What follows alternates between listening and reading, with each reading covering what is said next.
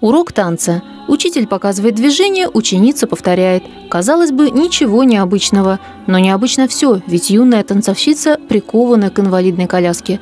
Ноги крепко держат ремни, поэтому все делается при помощи рук. И плавные движения, и управление коляской, что очень даже непросто. И тем не менее, это танец.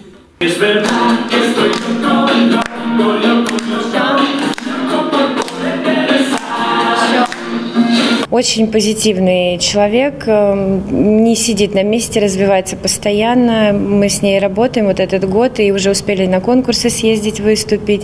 Активная очень и очень жизнерадостная, готова к любым переменам, учить все, что ей даю, она готова ко всему.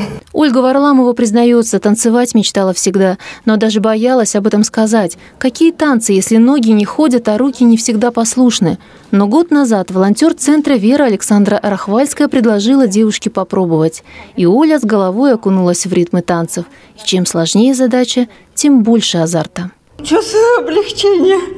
То, что я над этим танцем, над вот барыней, работала долго, потому что для меня этот танец оказался тяжелее э, физически, потому что вот в этом танце э, нужно прилагать больше усилий. Мама Ольги Марина Николаевна поддерживает увлечение дочери, понимая, что именно это и есть стремление к жизни, а не просто существование. У нее появился интерес, интерес выйти из дома – интерес, э, ну, как бы продвигаться в этом, потому что э, человек, который на, на коляске, который сидит дома, который, которому тяжело выбираться из дома, и получается, что теперь есть цель в жизни – Наверное, это и вызвало интерес главы муниципалитета Валерия Венцеля, который, узнав о необычном увлечении девушки с ДЦП, захотел с нею познакомиться.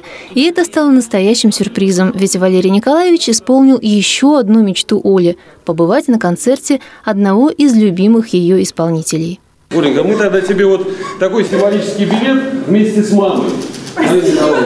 Вам тоже придется участвовать в этом концерте. Приходите завтра на концерте вот, послушайте э, нашего э, исполнителя, да, Григория Лепса. Кстати, концерт совпал с днем совершеннолетия нашей героини. И такой праздник Ольга наверняка запомнит навсегда. Татьяна Брылова, Александр Логинов, Ольга Садовская. Видное ТВ.